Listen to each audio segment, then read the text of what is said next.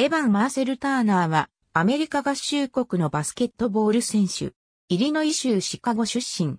2020から21シーズンにより、NBA のボストンセルティックスでアシスタントコーチを務める。ポジションはスウィングマン。201センチメートル、100キログラム。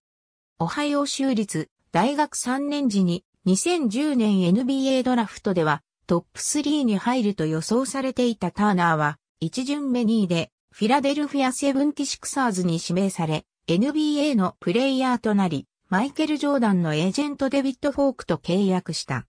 ペイサーズ2014年2月20日に、ターナーはラボイ・アレンと共に、インディアナ・ペイサーズに、ダニー・グレンジャーとドラフト2巡目指名権と交換でトレードされた。2月25日のペイサーズデビューのロサンゼルス・レイカーズ戦で13得点、6リバウンドを記録した。ペイサーズのベンチはシーズンハイの50得点を記録した。4月6日、ペイサーズがスターターすべてをベンチスタートさせたミルウォーキーバックス戦では23得点を挙げ勝利に貢献した。ターナーはチームメイトであるランス・スティーブンソンとはプレースタイルが近く次世代の重要な位置を争うと考えられ、険悪な関係にあると伝えられている。4月21日のプレーオフに戦前の練習時、口論から喧嘩騒ぎを起こしている。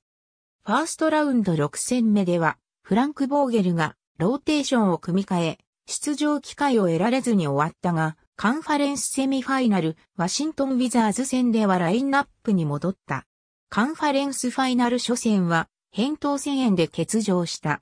ボストンセルティックス2014年9月27日、ボストンセルティックスと2年契約を結んだ。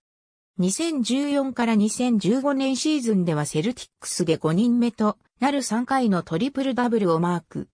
4月10日のクリーブランドキャバリアーズ戦でキャリアハイの13アシストを記録。400リバウンド400アシストをマークした。